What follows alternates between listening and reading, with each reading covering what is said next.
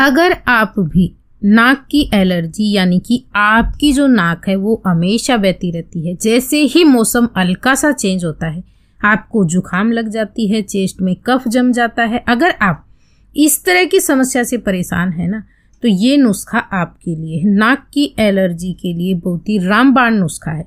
कई बार क्या होता है, हमें अचानक से छींके आने लग जाएँगी और नाक बहनी शुरू हो जाती है। हम बहुत ज़्यादा परेशान हो जाते हैं दोस्तों, इस तरह की समस्या से। तो आप भी अगर ये समस्या का सामना कर रहे हैं तो एक बार इस नुस्खे को ज़रूर आजमा कर देखना। हो सकता है आपकी नाक की एलर्जी हमेशा के लिए ख़त्म हो जाए, या फिर आपके लिए ये रामबाण साबित हो। क्योंकि ऐसा नुस्खा है, कैसी भी नाक बह रही हो, आपको तुरंत फ़ायदा मिलेगा और आप एकदम अच्छा महसूस करेंगे। इस नुस्खे को आजमाते ही पाँच मिनट में आपको जो है इसका असर नज़र आ जाएगा। तो इस नुस्खे को बनाने के लिए आपको क्या चाहिए? ये है हमारे पास देसी कपूर दोस्तों। यानी कि भीमसेनी कपूर का आपको इस्तेमाल करना है। बहुत ही बढ़िया नुस्खा आपके साथ में शेयर कर रही हूँ। इसमें आपको किसी भी तरह की कोई चीज़ खाने पीने की ज़रूरत नहीं है। सिर्फ़ आप इसे एक बार इस तरीके से आजमाना। आपका कैसा भी जुकाम होगा ना बैंकर वाला, वो भी तुरंत ठीक होने लगेगा। जिनको ये नुस्खा सूट हो जाता है ना दोस्तों, उनको इससे इतनी जल्दी फ़ायदा मिलता है, जितनी जल्दी दवा खा के भी आपको नहीं मिलता होगा। बहुत ही असरदार नुस्खा है। तो आपको क्या करना है? बिल्कुल छोटा सा भीमसेनी कपूर लेकर इस तरीके से तोड़कर उसका पाउडर बना लेना है। जितना हो सके ना, उतना बारीक पाउडर आप कर लेना इसको। और एक बार के लिए आपको बहुत ज़्यादा कपूर लेने की ज़रूरत नहीं है। बिल्कुल छोटी सी आपको कपूर लेनी है।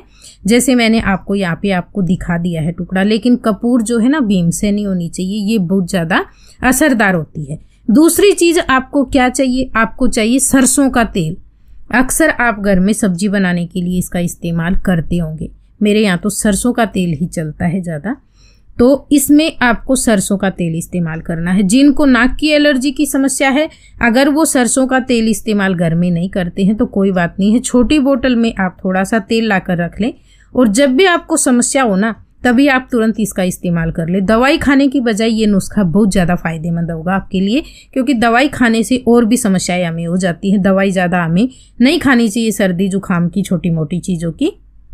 तो यहाँ पे हमने थोड़ी सी कपूरली पाउडर बनाने के बाद में उसमें एक चम्मच, छोटी चम्मच जो होती है ना, जिससे आप खाना खाते हैं, टीस्पून, उसका इस्तेमाल करना है सरसों का तेल। दोनों चीज़ों को डालने के बाद में आपको बहुत देर तक रखने की ज़रूरत नहीं है। सिर्फ़ आपको एक साफ़ सुथरा रुमाल लेना है, क्लीन होना चाहिए, बर्तन भी, रुमाल भी, जिन चीज़ों का आप इस्तेमाल कर रहे हो। और उसकी आप, जैसे मैंने यहाँ पे फोल्ड किया है उसको, चार फोल्ड में कर लेना उसको, और फिर आपको जो उसका बीच का हिस्सा रहेगा ना, उसमें ये पूरा जो हमने बनाकर तैयार किया है मिश्रण, इसको रखना इस तरीके से जैसे मैंने आपको दिखाया है, और इसको आप चारों कोनों से पकड़कर पोटली की जैसा बना लेना, और इसको बैठे बैठे आपको स्मेल करना है। बस इतना ही काम है। चाहे आपकी नाक लगातार बह रही होगी ना, वो भी आपको पाँच मिनट में ही असर दिखाई दे जाएगा, तुरंत आपको इससे फ़ायदा मिलेगा। आप आजमा कर देख लेना जिनको ये समस्या होती है। और जिनको नाक की एलर्जी है, जैसे आपको बार बार जुकाम लगता है, नाक आपकी पैक हो जाती है, सांस लेने में दिक्कत होती है।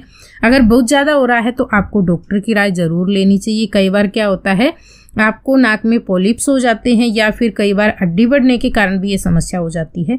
तो आपको अवॉइड नहीं करना चाहिए डॉक्टर की राय लेनी चाहिए। अगर आपको सिर्फ़ जुखाम या एलर्जी की समस्या है तो आप ये नुस्खे आजमा कर तुरंत राहत पा सकते हो। और इस पोटली का इस्तेमाल आप जिनको एलर्जी हमेशा रहती है ना, दिन में एक बार बना लेना और दिन में आप इसका इस्तेमाल दो से तीन चार बार कर सकते हो। बस इसको आपको ढक्कन वाले डब्बे में रखना होगा एक बार इस्तेमाल करने के बाद में, क्योंकि ये इसके अंदर कपूर है तो इसकी स्मेल चली जाएगी अगर आप खुला छोड़ देंगे तो। ये चीज़ ध्यान रखनी है। अब दूसरा नुस्खा है हमारा, जिनको एलर्जी के साथ साथ कफ की भी समस्या रहती है।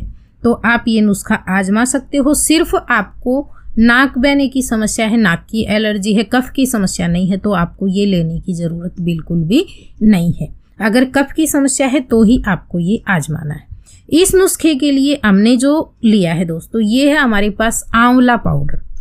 आंवला जो होता है ना, उसका चूर्ण आप ले आना। ये आयुर्वेद के स्टोर पे आपको अच्छा मिल जाएगा, वहाँ से आप लाकर इसका इस्तेमाल कर सकते हो।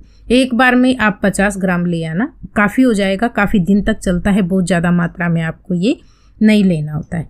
आधा चम्मच आंवला का पाउडर या चूर्ण आपको ले लेना है और इस तरीके से आपको ये बनाकर तैयार करना है। मैं आपको ये एक दिन के लिए बनाना बता रही हूँ। आधा चम्मच आंवला पाउडर लेना है। इसके साथ में आपको यहाँ पे चौथाई चम्मच के जितना हल्दी पाउडर लेना है, जिसका इस्तेमाल आप रोज़ाना सब्ज़ी बनाने के लिए करते हैं। वही हल्दी आपके घर में जो रखी है, उसका इस्तेमाल आप कर लेना। क्वांटिटी का आपको खास ध्यान रखना है। मैं यहाँ पे एक दिन के लिए, जैसे मैंने बोला, बता रही हूँ। आप अगर इसे एक साथ ज़्यादा बनाना चाहते हैं तो जैसे मैंने एक दिन का मेज़रमेंट आपको बताया है, इसी के हिसाब से आप जो है, इसे बढ़ाकर और ज़्यादा दिन के लिए भी बनाकर रख सकते हो। लेकिन शुरुआत में मैं आपको यहाँ पे सजेस्ट करूँगी, आप इस तरीके से बनाकर इसे सप्ताह भर आजमा कर देखना। अगर आपको फ़ायदा लगता है ना तो आप इसे बनाकर रख सकते हो। और जब भी आपको समस्या लगे तो आप इसे दो चार दिन आजमा कर अपनी इस समस्या से छुटकारा पा सकते हो। अगर आप इसे लगातार आजमाते हैं तो हो सकता है आप हमेशा के लिए कफ की समस्या से छुटकारा पा लें। अब इसका जो लेने का तरीका है, वो हम जान लेते हैं। लेने का तरीका आपका ये रहेगा दोस्तों, आपको जो है एक गिलास पानी गर्म करना है, यानी कि गुनगुना सा पानी आपको कर लेना है, और इसके साथ में आपको ये लेना है। लेने का जो तरीका है दोस्तों, वो इस तरीके से रहेगा। आपने जो ये मिश्रण तैयार किया है, इसको आपको दो बार में लेना है। दिन में दो बार, यानी कि सुबह और शाम को।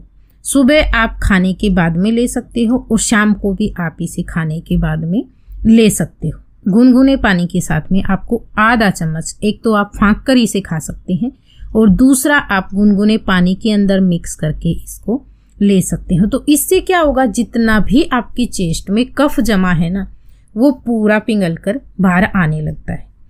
ध्यान एक रखना है, ठंडे पानी में इस्तेमाल नहीं करना है, इसको गुनगुने पानी के साथ में ही लेना है।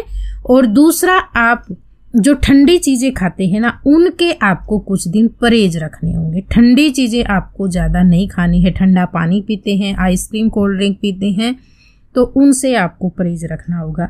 जिनको भी इस तरह की एलर्जी होती है, कफ जमा होता है, उनको ठंडी चीज़ों से परहेज रखने बहुत ज़रूरी होते हैं, तभी आपको जो है फ़ायदा इससे मिलेगा। अगर आपको सिर्फ़ नाक बहती है ना तो आपको दूसरा वाला नुस्खा लेने की ज़रूरत नहीं है। जब भी आपको लगे छींके आ रही है, लगातार नाक बह रही है तो आप ये पोटली वाला नुस्खा कर लेना। ये अकेला ही काफ़ी असरदार है जो जुकाम की जो समस्या होती है, उसको ठीक करने के लिए। जिनको एलर्जी और कफ की समस्या है, वो इन दोनों ही नुस्खे को कम से कम तीन महीने तक लगातार जो है आजमा सकती हो, तभी आपको इसके बेस्ट रिज़ल्ट मिलेंगे। ये था हमारा आज का नुस्खा। अगर आपको पसंद आया हो तो प्लीज़ वीडियो को लाइक, शेयर, कमेंट और चैनल पे पहली बार आए हैं तो सब्सक्राइब कर लेना। वीडियो देखने के लिए धन्यवाद।